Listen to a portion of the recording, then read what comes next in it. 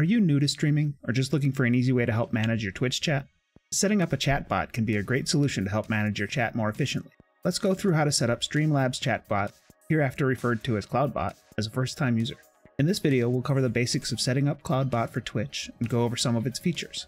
First things first, you'll need to go to streamlabs.com and sign up or log in using your Twitch account. There's a whole ton of stuff here, but we're going to focus on Cloudbot for now, so go ahead and click Cloudbot on the left navigation menu. The next thing you'll need to do is get the bot to join your channel. Next to Cloudbot at the top, toggle the switch to turn Cloudbot on. Once the bot has joined your channel, you'll need to grant moderator privileges to Cloudbot by typing slash mod Streamlabs in your Twitch chat. If you've already done this, you'll get a confirmation that Streamlabs is already a moderator, and if not, you'll get a message saying that they have been made one. Even if you think you've already done this step, it doesn't hurt to do it again, just to get that confirmation. Now that it's working, go back into Streamlabs and notice the row of tabs on the Cloudbot page. Each one of these will take you to a different set of configuration options for the bot. Let's go through each of them and I'll point out some good stuff to turn on to get started. The first tab is labeled Mod Tools. We're to cover this, but let's come back to it later. Second tab, labeled Name, has a little icon next to it, which means it's a premium feature only available with Streamlabs Ultra. This will let you use an alternate Twitch account as the bot, instead of having everything Cloudbot says come from the Streamlabs account in chat, which can be pretty cool, but I'm not sure it's worth paying for Ultra if that's the only feature you're going to use. The next tab is Modules, and we'll come right back to this, but since most of the modules require the loyalty system to be turned on, let's go look at that first. Under the Loyalty tab, you'll get a whole bunch of options to set up a loyalty point system.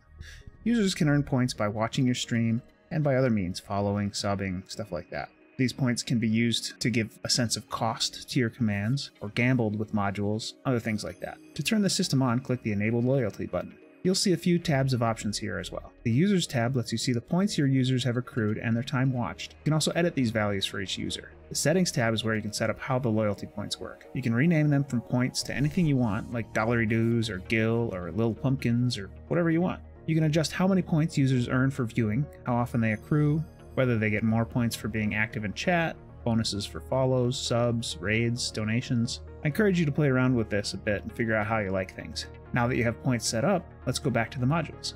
Most of these require the loyalty points we just set up, but the first group doesn't, and it's worth reviewing, especially if this is your only chatbot for Twitch. The Chat Alerts module lets you establish some basic chat-based messaging when certain Twitch events happen, like new follows, cheers, and subscriptions. I encourage you to click through these options and set up basic messages for follows, bits, subs, and raids at the bare minimum. I recommend an anonymous follow message that doesn't call out the user, but that's a whole separate topic for another day. Back in the module list, you can see most of the rest of the modules are mini games that can be played with loyalty points. There's gambling, Magic 8 Ball, slots, and some others. Feel free to turn on any of these that seem interesting.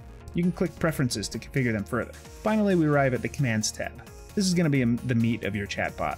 When you click Commands, it goes immediately to your custom commands, but before we go through those, let's look at the default commands available. There are some moderation commands that help you and your moderators adjust your custom commands on the fly from chat. If you enable these, your moderators can create whole new commands, edit your commands, all from chat, which is pretty nice. We'll get into these in a whole separate video sometime. If you're using link protection through Streamlabs, you can adjust the exclamation permit command here that allows users to post links for a given amount of time. There are some commands for giveaways, for the quote system that lets your users save and recall quotes, simple queue system, media share commands, commands to manage the loyalty point system, and other modules. Under miscellaneous, there are some other good commands that help you and your moderators manage the stream title and category from chat, as well as turning on and off safe mode. Go ahead and browse these default commands and turn on the ones you think you might want to use. Now let's get into the fun stuff, custom commands. Back at the top of the commands tab, click custom.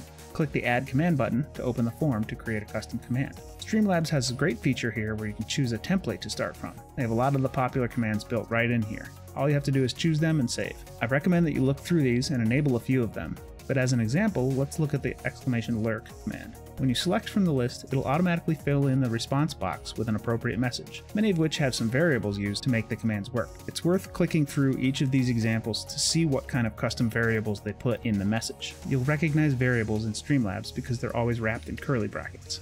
Lurk uses the username variable to populate the name of the person who typed the command. You can also specify how this command responds, whether in chat or in a whisper, and specify who has permission to use this command. The Advanced tab has even more options where you can specify cooldowns, loyalty point costs, and aliases for this command. Once you've adjusted things how you like, or left them at the default, click Confirm at the bottom to save the command. If you're making your own command here from scratch, it's really the same process.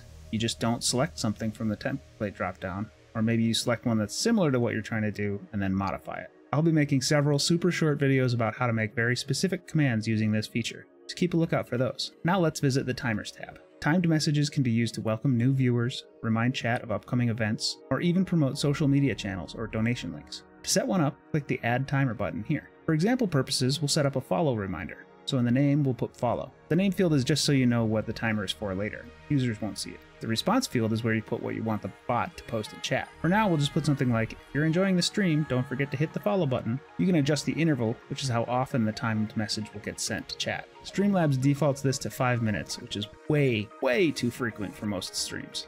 Look, timers are great, but you have to find the right settings so it's not just your bot spamming chat over and over and over. If you have a really active chat, this isn't that much of a problem, but in a fairly quiet chat, it can get pretty spammy pretty fast, so I recommend keeping your timer interval at something like 30 minutes, or at least 15. The line minimum field allows you to prevent the timer from firing even if the appropriate amount of time has passed, if there hasn't been enough other activity in chat. This is a great way to prevent the bot from being spammy and posting the same message again and again without any other chatter in between. Depending on your chat volume, I recommend setting this to at least 5, if not 10 or 20. This means that at least 5 or 10 or 20 lines of chat from other users other than the bot have happened since this timer last fired. Could be other bots, but hopefully it's some users too. Press save at the bottom and your timer will be set up. The next tab in the menu is for the quote system. If you're using it, it'll populate all the saved quotes here so you can spot check them and make edits. You can also add quotes directly here as well. The queue system has a tab here, and so does the loyalty points store, polls, giveaways, and betting modules. We're not going to get into those at the moment. Let me know in the comments if any of these are of particular interest to you, though, and I can do a deep dive for sure. Now let's get back to mod tools. While I advise you to peruse these options, I don't personally find any of them all that useful except for the link protection. Let's click on that one and set it up. The top box allows you to set user levels who will automatically be permitted to post links, subscribers or regulars. The punishment drop down allows you to choose how violations of this rule are handled.